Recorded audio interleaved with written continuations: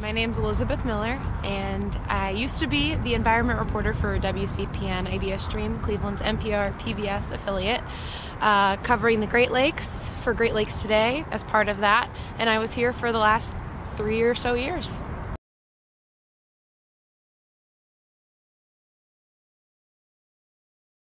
I'm going to miss the people that I spoke to as a, as a reporter. I'm going to miss my colleagues. I'm going to miss the food and all the starch, all the starchy foods. I hope that they have pierogies in, in Oregon. Um, but I'll also miss the uh, Cleveland's Cleveland's history, and I'll miss watching Cleveland change um, and Ideastream change. Um, there's there's a lot on the horizon with the city, with with my workplace and so I'm very excited to see what happens. And it's going to be sad to not be a part of that but I'm also really excited to watch it kind of as an outsider and and say hey I used to live there. Hey I used to work there.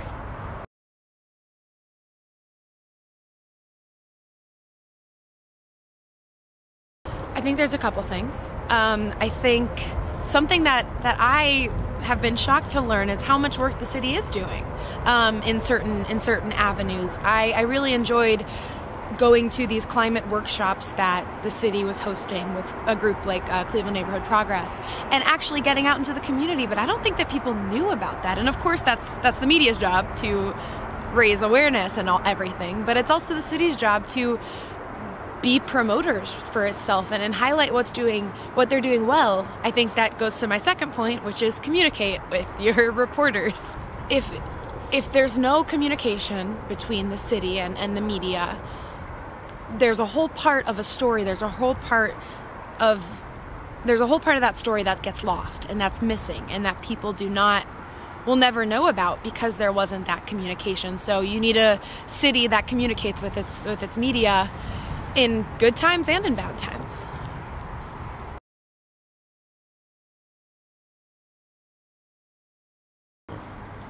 I love um, all of the great concert venues in Cleveland. I'll miss the Beachland. I hope there's one of those in, in Portland and the Grog Shop. I'll miss Tommy's. Tommy's on Coventry. Um, sorry, it's all food, but but I'll also miss you know just enjoying Cleveland's Cleveland's resources, enjoying the metro parks. I wish I used I wish I used them more, but I'll also enjoy the great beer that Cleveland has to offer.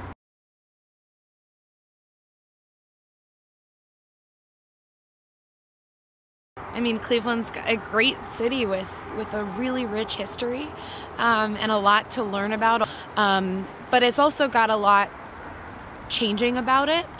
And it's, it's just a really good story. I'm not, I don't know how to answer this. Cleveland is nice. I like that place. And I'm going to miss it even when it snows like this.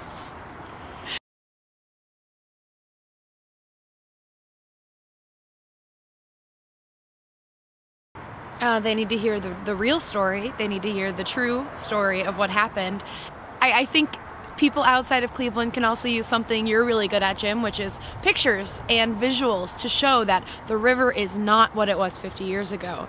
And it looks different, it smells different, um, it, it's used differently, and I think that's such a great story that also has some conflict in it and some tension between the whole recreation versus you know this is still a, a, shipping channel and i mean those last few miles are still a shipping channel. So what what kind of challenges do you still have there? And also it's yeah sure it's been 50 years it's cleaner and everything but it's still got a long way to go. So i'd love to hear more about what what else what else needs to happen for the river to really thrive and get taken off of that areas of concern list